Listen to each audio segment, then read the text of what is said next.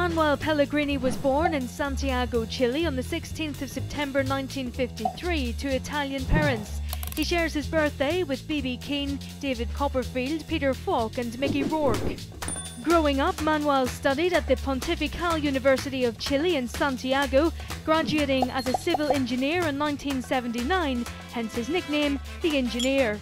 As a player, Manuel was a centre half and a one club man with Universidad de Chile. He made an impressive 451 appearances, scoring just one goal. Goal!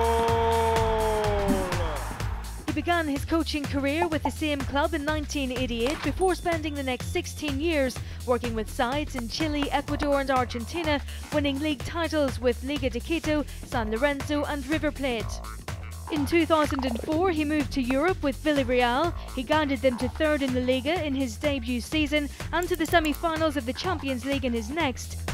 In 2008, his Yellow Submarines were the last team to split up the two Spanish giants, Barcelona and Real Madrid.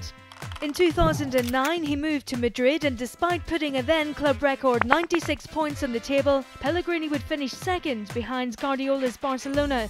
He joined Malaga in 2010, steering them to Champions League football for the first time in their history.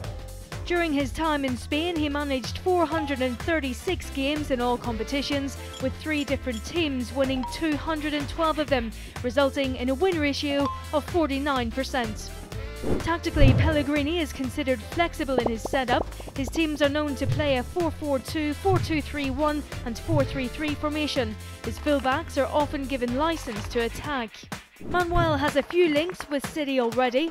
In 2002, whilst manager at San Lorenzo, a young Pablo Zabaleta was in the youth team. More recently, Roque Santa Cruz spent last season on loan at Malaga, netting 8 goals in 30 games, three of them against Manuel's old team Madrid.